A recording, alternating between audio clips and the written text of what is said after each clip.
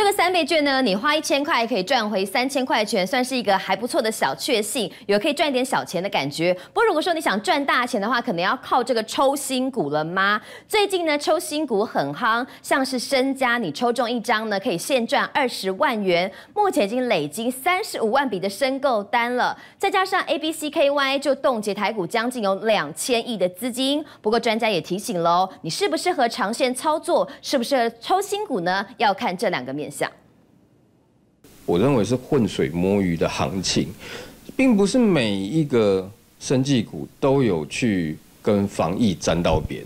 可是每一个都说它是防疫股。股市大户也是阿土伯儿子的李志勇，以过来人经验说，抽新股可得先注意行业别，像是山富，因为低价上市可以做长期投资，而身家主要为感光元件跟五 G 手机应用，配息不错，也能按着趋势来操作。只是 A B C K Y 就要小心是不是炒作了。五百户的话，一张是约当五十万，那你五百户就是约当。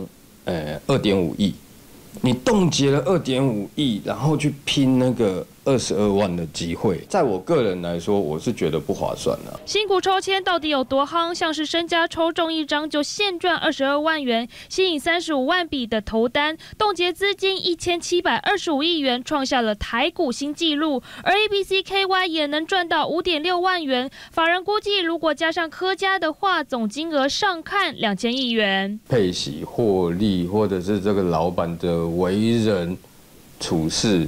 一点都不晓得，那有点像瞎子摸象。它的产业有没有未来性？那另外一个是它的经营稳不稳健？先看基本面再下手，抽签需要运气，当然持有时间也是关键。涨到它的本益比已经，譬如说已经到了三十倍了哈，那就先走了嘛，那就不用客气了。以后呢，要再突破这个这个价位，那困难度就很高了。虽然中签率不到百分之一，但初上市跟初上柜抽中后的获利平均都有二点四万元，而亏损金额大约五百到一千五百元，也难怪投资人都想碰碰运气。东森财经新闻需要主刘子腾台北报道。